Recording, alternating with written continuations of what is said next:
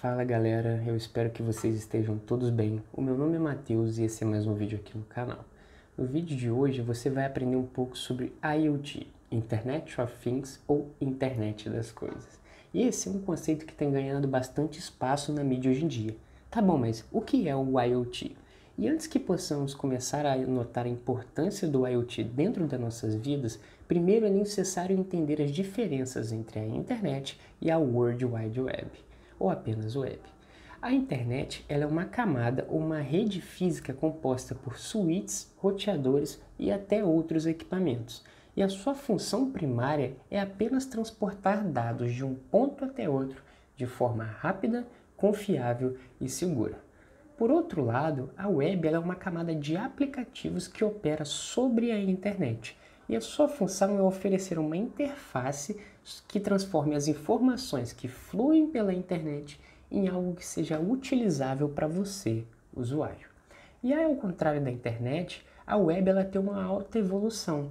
E a web ela passou por várias etapas evolucionárias distintas. A primeira fase da web ela foi uma fase de pesquisa e nessa época ela era até chamada de ARPANET. Foi durante esse período que a web era unicamente exclusiva para fins acadêmicos e fins de pesquisa.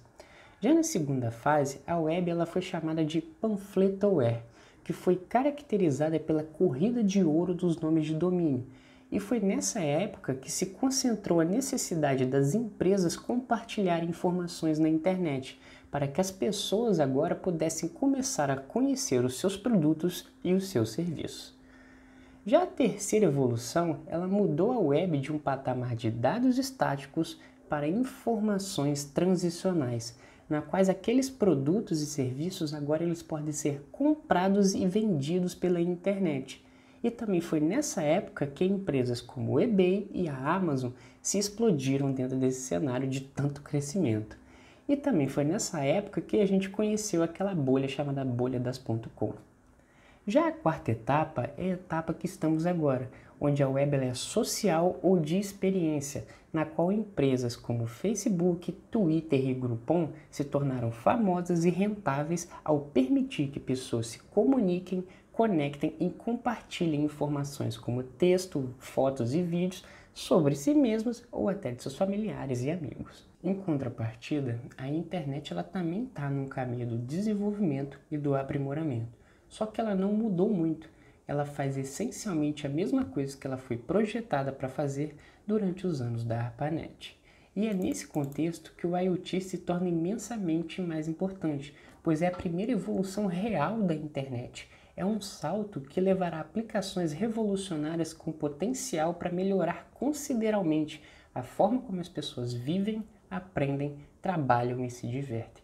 A IoT então já transformou a internet também em algo sensorial, como as medições de temperatura, pressão, vibração, iluminação e até o seu estresse. Tá, mas para que serve o IoT?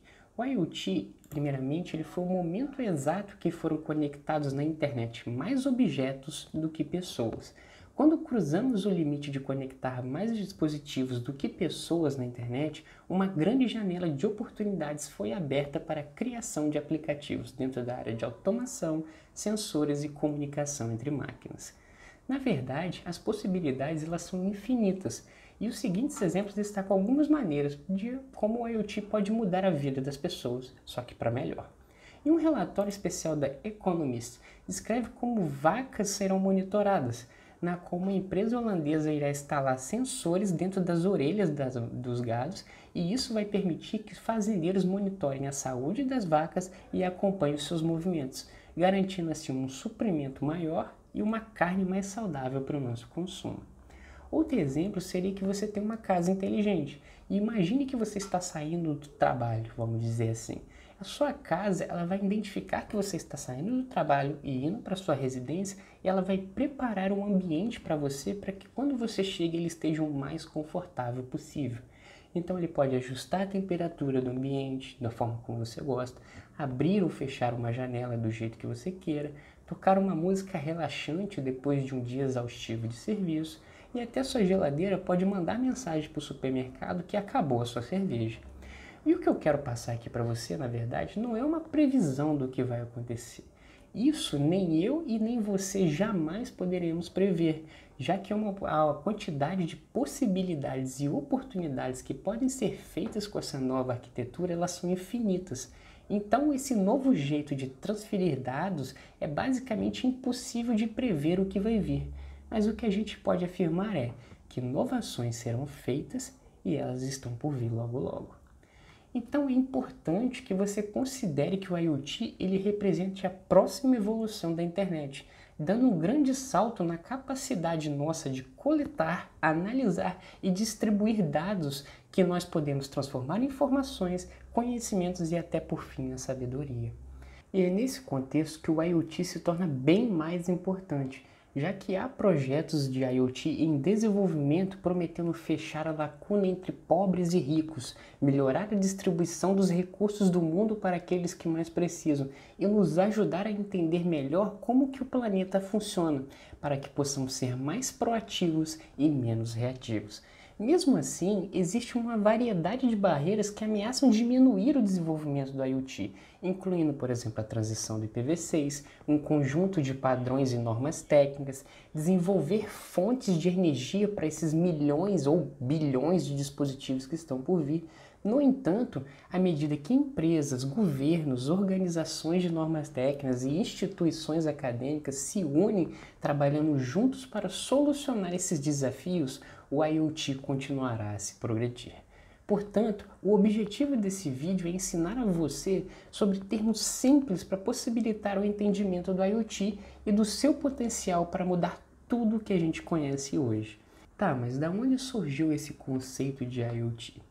Bom, assim como as mais diversas tecnologias, o IoT ele remete aos laboratórios do MIT dentro de um centro de pesquisa chamado Auto ID Center, quando estavam pesquisando uma tecnologia chamada RFID. O Auto ID Center ele era uma série de laboratórios que consistiam em sete universidades de pesquisa em quatro continentes diferentes.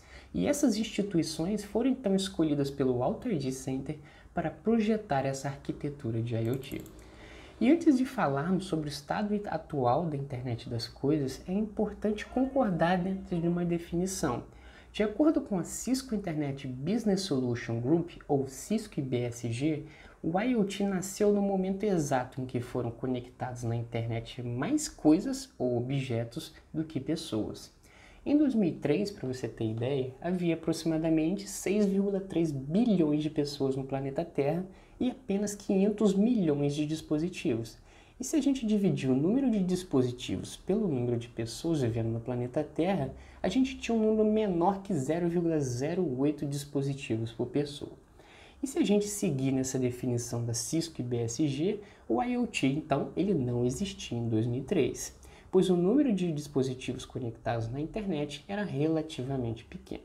Porém, com o crescimento explosivo de smartphones e tablets, o número de dispositivos conectados na internet chegou a 12,5 bilhões em 2010, enquanto o número de pessoas naquele mesmo ano vivendo no planeta Terra era em torno de 6,8 bilhões.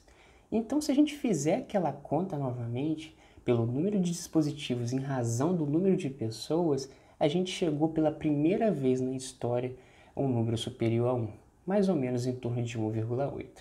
E se a gente refinar um pouco mais esses dados, de acordo com a Cisco e BSG, o IoT então nasceu nos anos entre 2008 e 2009.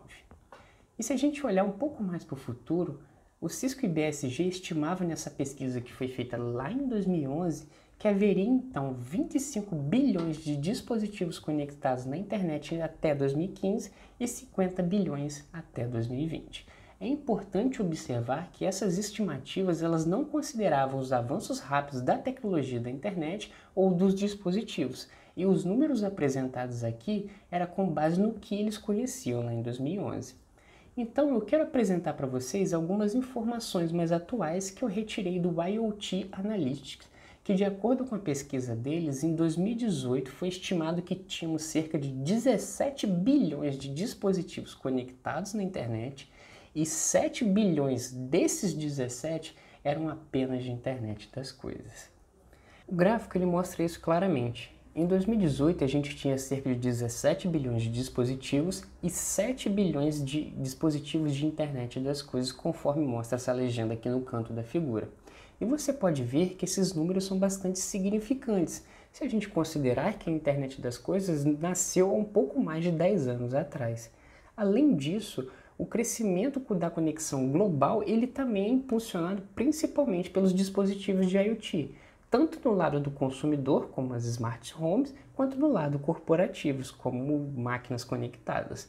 E espera-se então que o número de dispositivos de IoT ativos cresça para 10 bilhões em 2020 e 22 bilhões em 2025, de acordo com essa pesquisa que o IoT Analytics fez.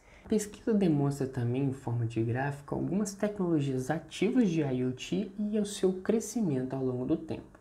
Como você pode ver aqui, existem diversas tecnologias que talvez você nunca tenha ouvido falar até hoje, como a WLAN, a M2M, a LPWAN, e é justamente por isso que eu vou gravar aqui no canal uma série de vídeos explicando algumas dessas tecnologias que a gente tem disponível no mercado para você entender um pouco melhor essa nova fase da internet que a gente está vivendo. E quais são as próximas etapas para o IoT? O IoT está numa etapa na qual redes diferentes e vários sensores devem ser unidos em um conjunto de normas técnicas.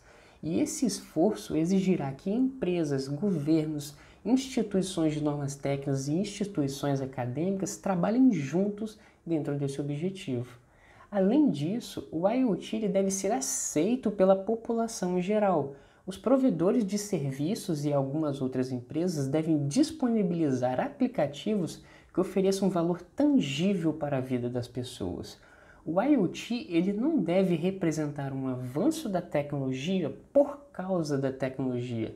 Ele deve em si demonstrar valores em termos humanos para as pessoas. E por fim, o IoT representa a próxima evolução da internet. A gente tem que considerar que nós, seres humanos, avançamos e evoluímos, transformando dados em informações, conhecimento até a sabedoria.